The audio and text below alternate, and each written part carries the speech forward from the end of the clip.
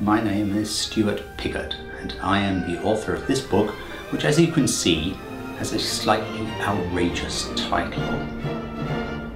But when you're talking about wines that are outrageously good, like the Rieslings from Emrich Schönleber, yes, that is a double-barreled name, then you need these kind of words. Otherwise, you're not being realistic, you're not being fair about just how good that wine is.